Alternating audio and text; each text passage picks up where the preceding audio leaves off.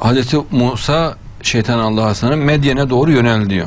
Umarım Rabbim beni doğru bir yola yöneltip iletir dedi. Bak. Ha bir kader üstüne gidiyor. Allah diyor ki Hazreti Musa sen bir kader üstüne geldin ey Musa diyor Maşallah. ayette. Evet Öyle hocam. kendi kendine gidemez. Evet hocam. Kader üstüne geliyor. Medyen suyuna vardığı zaman su almakta olan bir insan topluluğu buldu. Medyen suyunun yanına da gideceğiz Allah'ın izniyle. İnşallah hocam. Tabii bu burada anlatılanların hepsini göreceğiz. Yani o ilgili yerlere gideceğiz inşallah. İnşallah hocam. Onların gerisinde iki kadın buldu. Dedi ki bu durumunuz ne? Soruyor. Yani Hazreti Musa bu durumunuz ne? Hanımların yanına yanaşıyor. Çobanlar sürülerini sulamadıkça biz sürü- sürülerimizi sulamayız. Babamız yaşta ilerlemiş bir ihtiyar dediler. Bakın Müslüman bir hanım Hanzo tiplerden uzak duruyor. Evet. Demek ki orada keriflerin eşkali bozuktu. Yani pislik adamlar anlaşıyor diyor. Yani zararla tehlikeli adamlar. Veyahut tam pislik olmasa bile riskli gördükleri adamlar. Yani normal adam değil. Ama bak Hazreti Musa'yı görür görmez ondan konuşuyorlar. Evet. Demek ki o çok efendi olduğunu hemen anlamışlar. Neden? Yüzündeki ifadeden, uslubundan, candanlığından, sıcaklığından ondan konuşuyorlar. Ondan muhatap oluyorlar ama onlara konuşmuyorlar. Demek ki Müslüman bir hanım ayrımcı olacak. Cins tiplerle, tehlikeli tiplerle muhatap olmayacak. İnşallah. Güvendiği, sevgi duyduğu, saygı duyduğu, Allah'tan korktuğuna inandığı insanlarla e, muhatap olacak. Bak diyorlar ki dedi ki bu durumunuz ne? Çobanlar sürülerini sulamadıkça biz sürülerimizi sulamayız. Biz öyle yerlere girmeyiz diyorlar. Evet hocam inşallah. O tip şeye yine. Babamız yaşı ilerlemiş bir ihtiyardı dediler. Yani babaları da onları koruyacak gibi değil diyor yani. Onu demeye getiriyorlar. Hemen diyor Hazreti Musa sürülerini suladı bayanların. Sonra yine gölgeye çekerek dedi ki Rabbim doğrusu bana indirdiğin her hayra muhtacım mübarek. Evlilik fikri de kafasına geçiyor demek. Çok şeker bir peygamber Hazreti. Musa. Bak yine gölgeye çekilerek dedi ki diyor Rabbim doğrusu bana indirdiğin her hayra muhtacım. Çok geçmeden o iki kadından biri e, yürüyerek ona geldi. Bak hemen Allah duasını kabul ediyor. E, babam bizim için süreleri solamana karşılık sana mükafat vermek üzere seni davet etmektedir. Bak hanımlar da hemen bildirmişler ebeveynlerine. Ebeveynine. Dedi e, bunun üzerine ona gelip de olup bitenleri anlatınca o korkma dedi. Zalimler topluluğundan kurtulmuş olun. Allah seni kurtardı diyor Hazreti Musa'ya. Babaları. O kadınlardan biri dedi ki ey babacığım onu ücretli olarak tut. Çünkü ücretli tutaklı, tuttuklarının en hayırlısı. Bak hayırlısı yani demek ki üstünlük, güzellik, iyilik bulmuş. Evet. Hayırlısı. Gerçekten o kuvvetli ve güvenilir biridir. Güvenilir. Gü- yani güven en önemli konudur. Güven oldun mu insanın sinirleri yatışır. Cennetin güzelliklerin en mühim güzelliklerinden birisi de güvendir. Güvenli bir ortam. Evet hocam inşallah. Ve kuvvetli diyor bakın.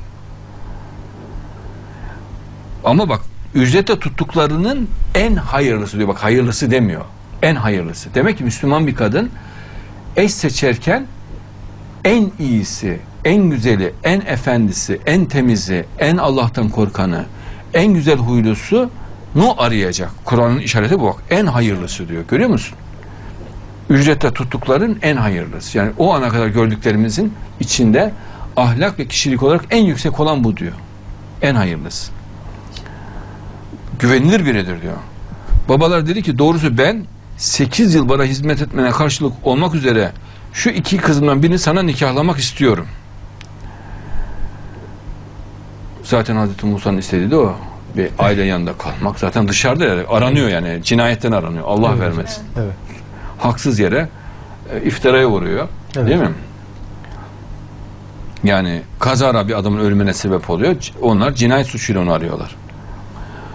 Şu iki kızımdan birini sana nikahlamak istiyorum. Şayet 10 yıla tamamlayacak olursan artık o da senden. Zaten o da bol bol kalmak ister yani. Değil mi? O- Ama tabii burada 10 ve 18 bir şeyler ifade ediyor. Yani o rakamlar da öyle. Herhangi bir e, rakam olarak veya usulen verilmiş bir şey değildir. Yani Allah hiçbir şeyle boş yere söylemez. oradaki 18'in bir anlamı var. İnşallah. İnşallah. 10 ve 8'in ayrı ayrı. Ben sana zorluk çıkarmak istemem. Ee, artık o da diyor, o da senden. Ben sana zorluk çıkarmak istemem.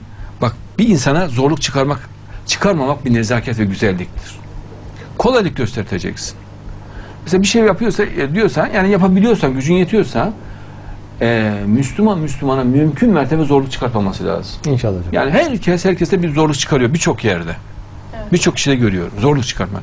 Mesela bu vicdansızlıktır. Kolaylık çıkartmak lazım. İnşallah. Her konuda kolaylık çıkartmak lazım. Ne istiyorsa. Ben de inşallah salih olanlardan bulacaksın. Bak çok hayati bir şey çıkıyor. Beni samimi bulacaksın diyor. Dürüst. En hayati konuyu söylüyor. Cennetteki aranan özelliktir. Yani Allah'ın aradığı ana özelliktir. Samimiyet. Musa dedi ki bu benimle senin aranda olan bir anlaşmadır. Bu durumda iki süreden hangisini yerine getirsem artık bana karşı bir haksızlık söz konusu olamaz. Allah söylediklerimize vekildir diyor. Yani tabi orada aslında nezaketle onu korumak için e, peygamber ona o ifadede bulunuyor. Hmm, O da güzel bir nezaketli bir üslupla onu kabul ediyor. İnşallah. Böylelikle Musa süreyi tamamlayıp ailesiyle birlikte yola koyunca Tur tarafında bir ateş gördü. Ailesine durun. Gerçekten bir, bir ateş gördüm. Umarım ondan ya bir haber ya da ısınmanız için bir kor parçası getiririm dedi. Bakın bir hareketlenme olduğunda Müslümanların ilk yapacağı şey durmasıdır. Yani hareket tehlikeli olur. Evet.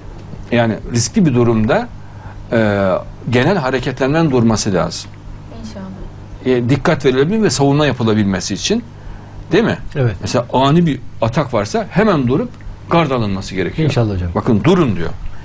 Gerçekten bir ateş gördüm. Müslüman çok uyanık ve dikkatli olacak. Bakın diğer kişilerin göremediği ateşi o görmüş oluyor. Evet. Çok uzaktan. Dikkatini, Müslümanın dikkatini keskinliğine de Kur'an dikkat çekiyor. Umarım, bak büyük de söylemiyor, umarım, inşallah anlamda, umarım. Ondan ya bir haber,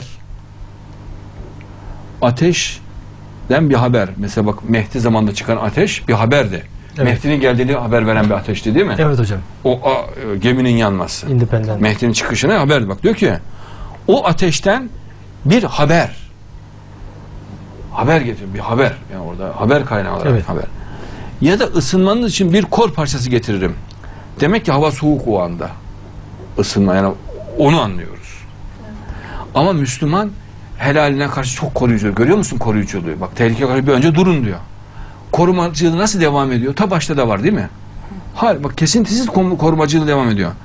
Onların ısınmasını da çok önemli görüyor. Yani kor parçası getirmek kendini tehlikeye atıyor. Ben gideyim diyor. Siz gitmeyin. Ya orada bir şey varsa adamlar varsa bir şey varsa onlara bir şey olmasın. Bana olsun ama onlara olmasın diyor. İnşallah. Değil mi? Evet. Yani öldürebilirler de Allah izniyle. Şehit de edebilirler. Ama aileme bir şey olmasın diyor. Yani kendini Allah rızası için feda ediyor. Yiğitlik bu inşallah. Derken oraya geldiğinde o kutlu yerdeki vadinin sağ yanında. Bak bu sağ yan durduk yere söylenmez. O kutlu vadi durduk yere denmez. Orada bir şey var. İnşallah. Gideceğiz. İnşallah hocam. İnşallah. Yanında olan bir ağaçtan bir ağaçtan Ey Musa Allah alemlerin şeytandan Allah'a sığınırım.